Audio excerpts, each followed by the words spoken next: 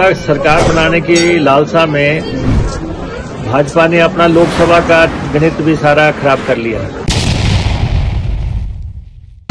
हम जो है निम्न स्तर की राजनीति में ना हम विश्वास रखते हैं, ना हम करेंगे। कंगना कहाँ से आई है, क्या क्या उनकी पृष्ठभूमि है, हमें इस इन बातों से कोई सरोकार नहीं है। हमें तो ये है कि ये जो हमारी सीट है मंडी, कुल्लू और इस, बाकी ट्राइबल इलाका यहाँ पे आता है। इनके विकास के लिए क्या होना है?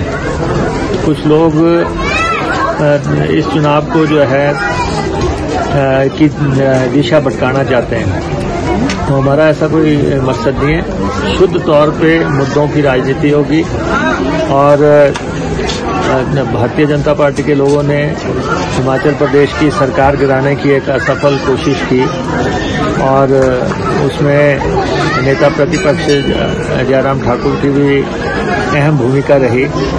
वो वो समय से पहले शॉर्टकट से जो है सत्ता पे काबिज होना चाहते थे, लेकिन नहीं हो पाए। हमने उनसे भी कहा है कि अब भारतीय जनता पार्टी प्रदेश में एक्सपोज हो गई है कि उन्होंने प्रदेश की सरकार गिराने के लिए साजिशें रची, षड्यंत्र किया।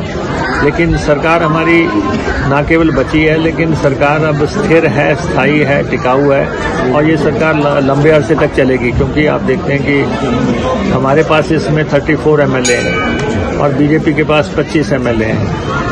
नौ का अंतर है।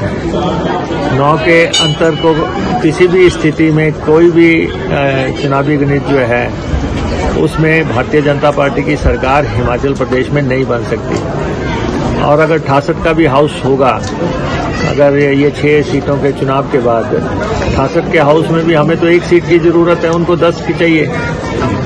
दस चाहिए इलेक्शन अभी छह पे हो रहे हैं। तो उनकी सरकार कहाँ से बन जाएगी जो ये बार बार कहते हैं कि हम चार जून को सरकार बना लेंगे?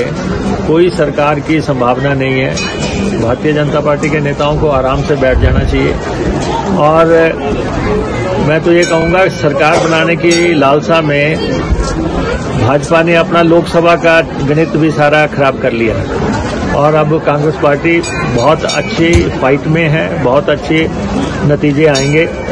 दो कैंडिडेट हमने घोषित कर दिए शिमला और मंडी के। दो कैंडिडेट हम इस नेक्स्ट वीक में हम घोषित कर देंगे।